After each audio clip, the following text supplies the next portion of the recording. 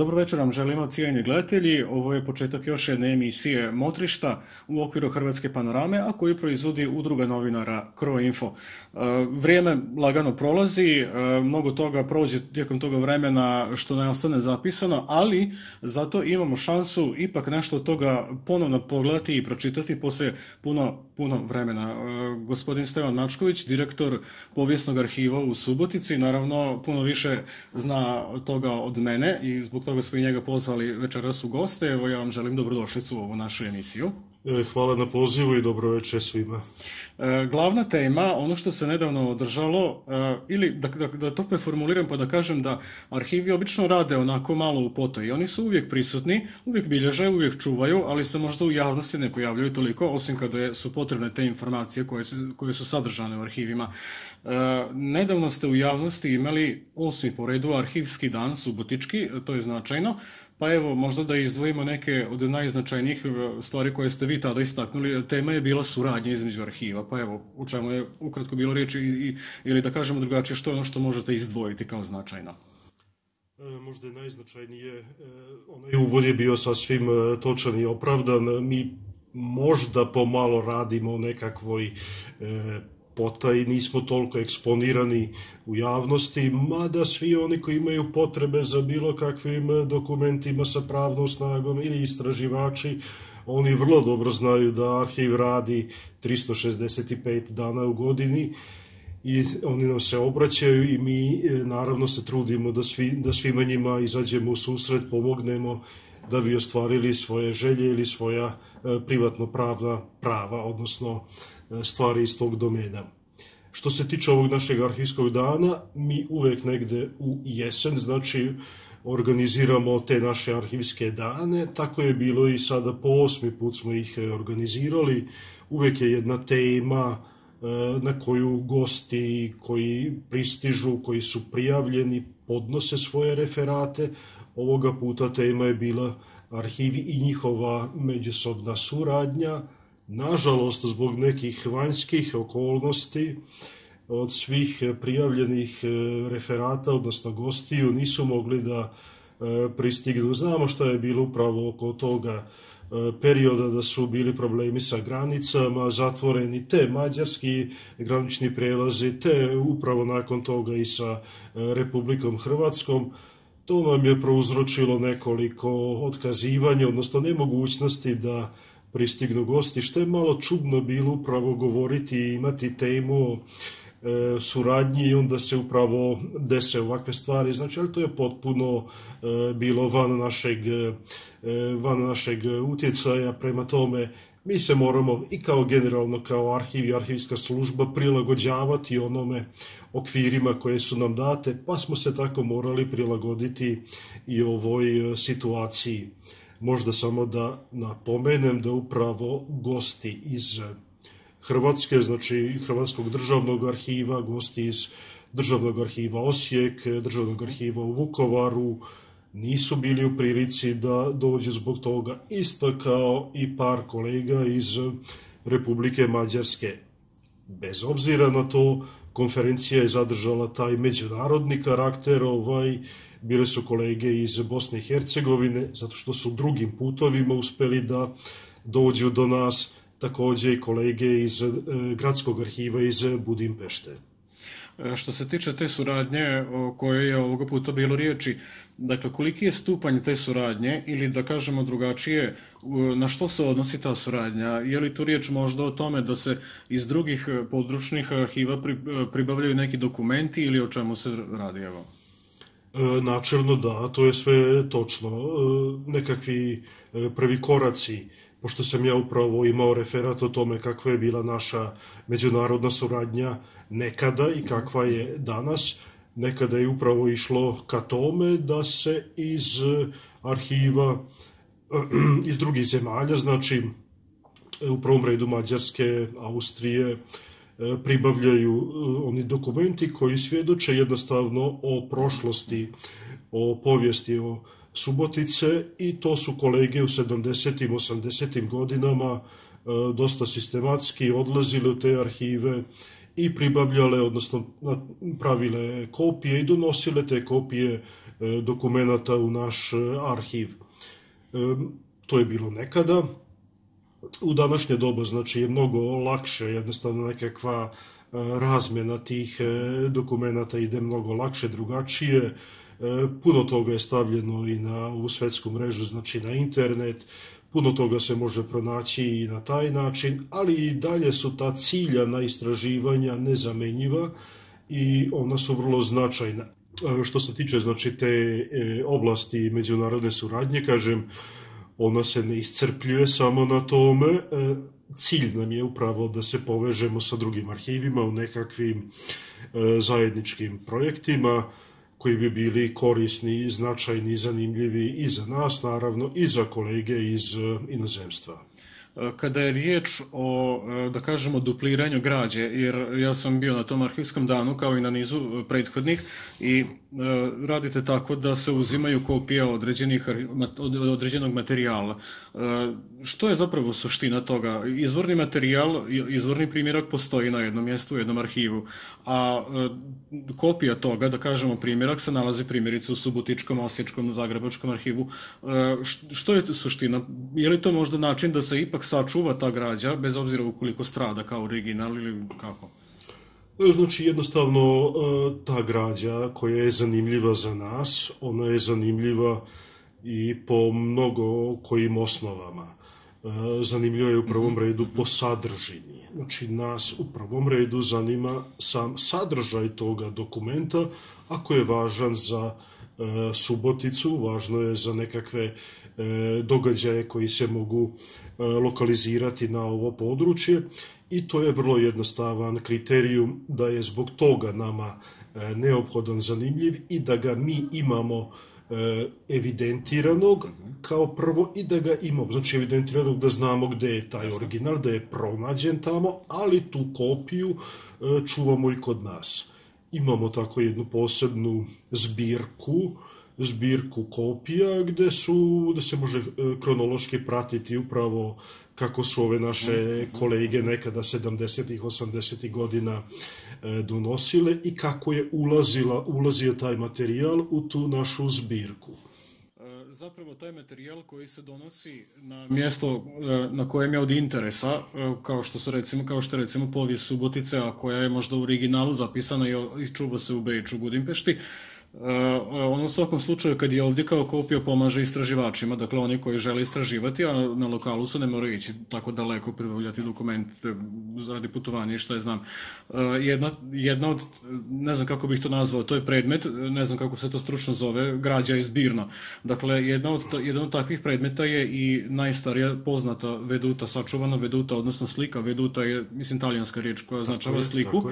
Slika grada Subotice, pa evo možda nekoliko riječi o tome tome? Da, upravo iz eh, arhiva u Beču, iz eh, vojnog arhiva u Beču eh, je kao prvo pronađena ta veduta grada Subotice, mada onda to je vreme bitke kod Sejnte, to je taj trenutak kada je vojska Eugena Savojskog boravila, odnosno postavila svoj logor na Palićkim obalama, i onda je onaj vojni geodeta, kartograf e, napravio, nacrtao upravo tu vedutu, pa se negde u perspektivi vidi Subotička tvrđava i nekoliko još e, objekata pored.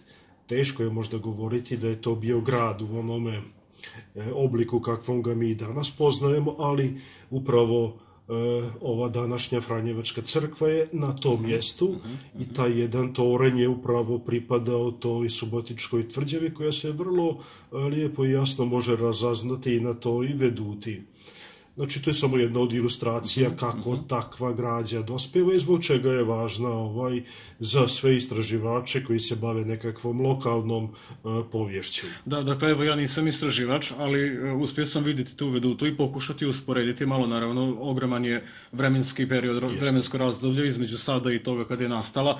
Uh, koliko se zapravo može, vi ste imali malo više prilike baviti se njome, koliko se može prepoznati? Evo, naveli smo neke, neke detalje u postocima, da kažem, kažemo 30-40%, 20%, toga je ostalo.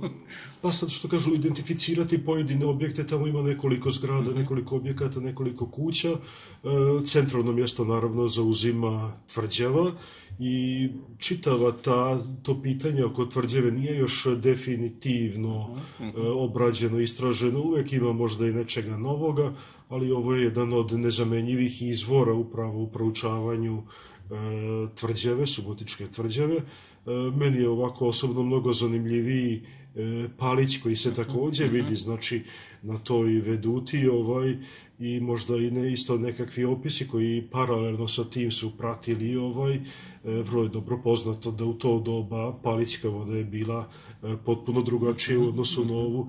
Znači, e, samo po sebi svi ti izvori su vrlo zanimljivi, značajni, nezamenjivo svjedočanstvo za bilo kakvu e, historiografsku obradu ovih naših uzanih lokalnih tema.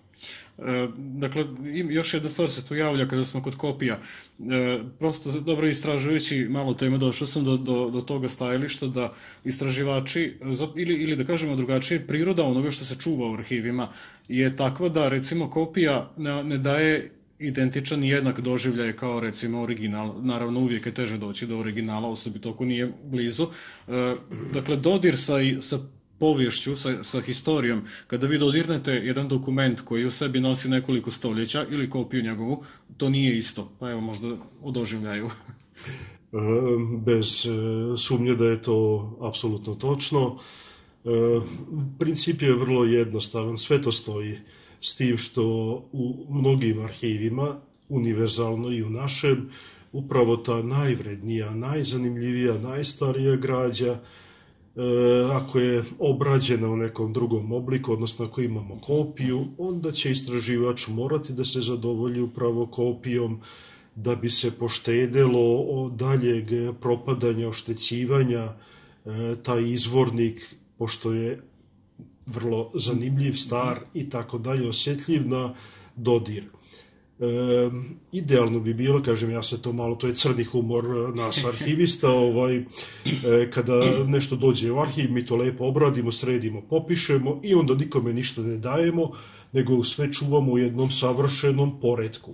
Nažalost, istraživači stranke zahtevaju da se vrlo često i originali koriste, vade mm -hmm. i da se remeti jednostavno taj poredak, ali to je naš problem, zato kažem to je ovako jedan arhivistički ovaj malo crno humorno gledanje na te stvari. Da vam pokvare ono što ste vi tako mukotrpno radili. E, nama je, nama je znači upravo to cilj, zadatak, svrha postojenja arhiva, ono načelno da smo mi nekakva e, kolektivna memorija, memorija jednog društva, ako hoćemo jedne države, ovaj, ali e, obrađujemo, sređujemo tu građu upravo da bi je omogućili da što lakše može da se upotrebi.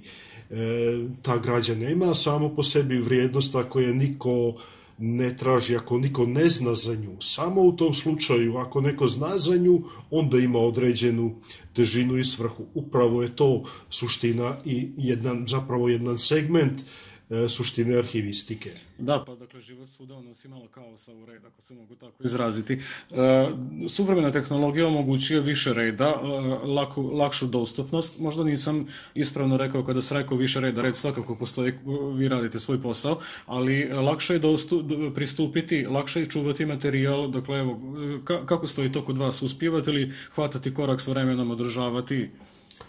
E, da, bi se, moglo bi se čisto informatički ovaj to gledati i promatrati, ovaj e, mi jesmo jedna vrsta baze podataka. Ja sam to isto opet kao jedno zanimljivo pitanje na mojim izlaganjima znao da postavljam auditorijumu, da li znaju koja je najveća baza podataka u jednoj državi, u jednoj sredini, pa su onda razmišljali, onda sam ja im dao odgovor, U prvom redu to je policija, to su državne službe, ali odmah zatim dolaze, dolaze arhivi. Iskreno mislio sam da će arhiv biti na prvom mestu. ne. E, znači, jasno je da smo mi velike baza podataka, ovaj, e, količina građe je ogromna i recimo jednu sam ilustraciju da kažem u dužnim metrima merimo, izražavamo tu količinu građe, to je e, u ovome trenutku preko 7,5 km građe, znači odavde do Palića da šetamo od tornja gradske kuće pa do tornja vodotornja, pa da imamo na svakome metru poslagane spise knjige, odnosno našu građu.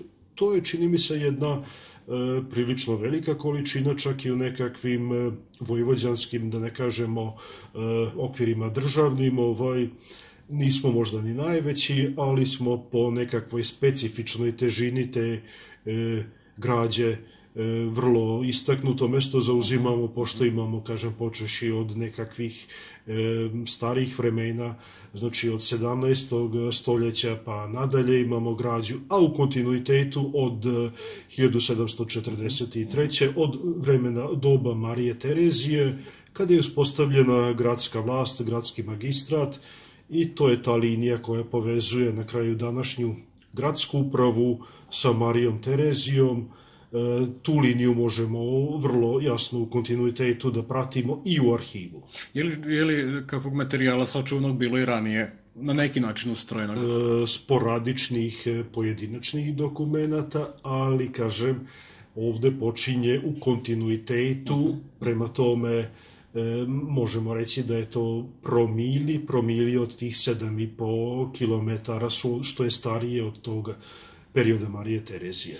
Ovdje bih želio osvijetliti malo, e, da kažemo, našu hrvatsku zajednicu. E, što se sve može naći u e, arhivu i ima li tu na neki način, ugradit ću se, dakle, uvjetno rečeno politike, dakle, ima li tu nekog probira izbora što se čuva, što se ne čuva?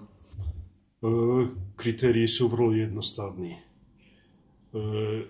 Ono što je došlo do nas, što je dospelo do arhiva, to se čuva naknadno je nemoguće praviti izbor. Ja bih možda osobno volio da je nešto stiglo, došlo do nas, ali e, iz nekog perioda, na primer, e, kraja 19. stoljeća, početka 20. između dva svjetska rata, da su neke, na primer, hrvatske udruge koje su postojale imale svoju organiziranu pismohranu, pa da je taj materijal dospio do nas, nažalost, e, nije, ali što kažu e, neki drugi e, tragovi, neka druga svjedočanstva su ostajala, prema tome ne može se u potpunosti rekonstruirati e, čitav taj život, kažem, hrvatske zajednice od 19. preko 20. stoljeća, ali mislim da postoji dovoljno dovoljno nekakvih svjetlih točaka, odnosno onoga što je sačuvano, pa se na osnovu toga sa malo truda i malo angažiranja, malo istraživanja može e, relativno dobro i to obraditi. Da, pa e, imali ste jedno predavanje, na jednom predavanju sam ja bio, bio je kolokvij u Zavodu za kulturu vojvezanskih Hrvata, dakle bilo je riječi upravo o ovome, jeste, o, o temi koju sam načeo. E, znam da ste pratili, dakle znam i također da ti podaci nisu u tako velikom broju, ali oni se ipak mogu pronaći, a da se tiču pripadnika Hrvatske zajednice.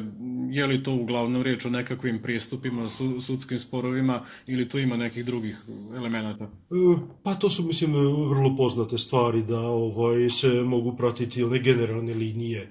E, znači, u periodu monarhije kako je bilo djelovanje ovih istaknutih e, prvaka koji su se borili za prava na jezik, na to su školska pitanja mahom bila vezana. Zatim, nakon 1918 kada je došlo pitanje opet e, priznavanja, odnosno nepriznavanja nekakve hrvatske opcije koja je takođe sve više jačala, izrastala na ovim prostorima, takođe nekakav period nakon drugog svetskog rata, može se sve to relativno dobro pratiti, kažem, pa sve do onih 70. godina Hrvatskog proljeća i tako dalje.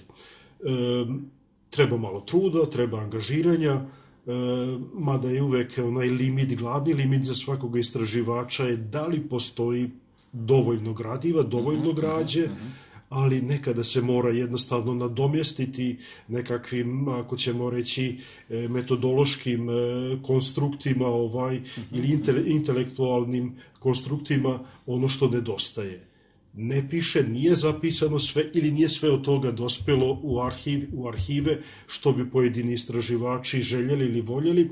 Upravo je zbog toga to jedan izazovni posao u suštini. Da, dakle, koliko razumijem, e, ukoliko želimo jednu temu obraditi, ja ću reći da je to tema Hrvatska zajednica ili Hrvatski narod, e, pretpostavljam da to nije tako indeksirano. Dakle, ukoliko neko želi pratiti neku liniju, mora se dobro potruditi. Evo, upravo, iz... upravo, upravo to, upravo to e, pokušavam ja da naglasim i da kažem, naravno.